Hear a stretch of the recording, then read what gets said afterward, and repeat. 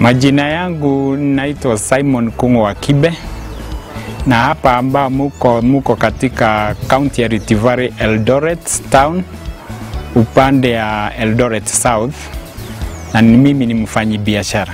Mimi biashara yangu nilianza wakati nilipomaliza secondary school form 4 nilikuja hapa na nikaanza biashara ya kuuza fruit and vegetables. Nilianza kidogo kidogo, nikaweka akaunti kidogo kidogo, nikanunua plot kwanza, nikakaa, halafu nikajenga nyumba yangu, halafu nikakaa, nikaanza kujenga nyumba kidogo kidogo ya wale ambaye umeona tunaishi nao mahali pale. Wakati nilipojua faulu, niliona kwanza ikitangazwa kwa runinga, nikasema wacha niende niangalie kama ni ukweli. Kwa fix account niliweka shilingi elfu mia mbili lakini nikaona ndio nijue ni ukweli, kwanza niweke miezi tatu. Iki, wakati ilipofika miezi tatu e, nikaona nikaenda nikawaambia nataka kuwithdraw ile pesa yangu niliweka na pamoja na faida yake.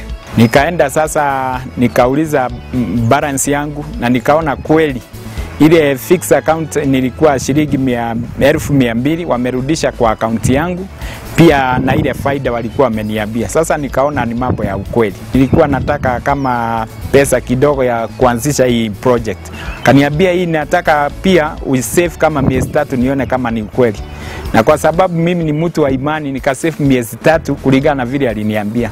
Nikasefu hiyo miezi tatu, ikafika haraka, hata ilikuanga mingi.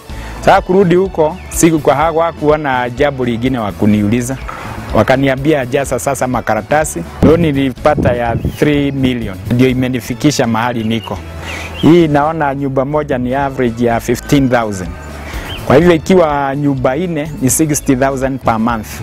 Kwa hivyo hiyo itaniwezesha kulipa ile loan na ile biashara nafanya, ninaona itakuwa rahisi sana. Hakuna mahali nitaona nitafinyika. Sasa nikianza kupata cash hapa niweke ngorofa ingine juu na tena hii niweke, naona itakuwa rahisi, sababu hao watu watakuwa wananipee pesa na ile ingine mali nilikuwa napata watakuwa wananipee pesa. Kwa hivyo naona mzigo baadaye iwe mzito, itaendelea kuwa rahisi. E, wanasema is a bridge to success.